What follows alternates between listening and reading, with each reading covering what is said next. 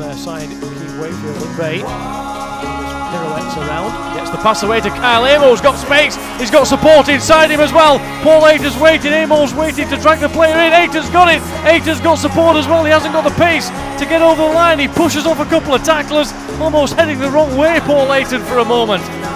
Has support now, but Hull FC are back on the line. Tim Smith will put an early kick across. He's looking on the angle for Fox. He's picked it up and scored! And Peter Fox will put Wakefield in front. Magnificent kick over the top from Smith. It looked like he didn't quite have enough on it, but it dropped into the arms of Peter Fox.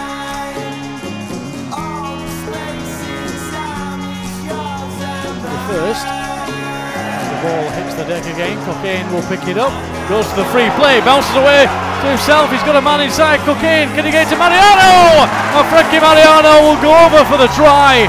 Great work from Ben Cockayne. Backed himself to begin with, got the kick over.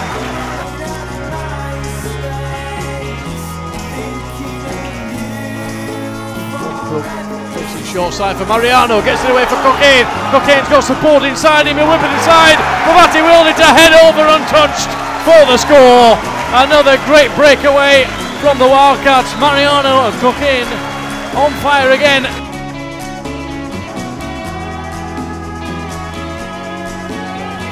Couple still to go as Wilkes gets back to his feet. For Lauitiiti this time. Lauitiiti trying to get moving. The shorts are on the ankles again, but he's still going. Lee Smith heads back across. Lee Smith's got that for gap, but it's just closed on him. Manages to get it to Tim Smith. Paul Aiton! Aiton gets his second of the game. Great try by the Wildcats. Kept the ball alive. The two Smiths combining, and Paul Aiton was there to profit.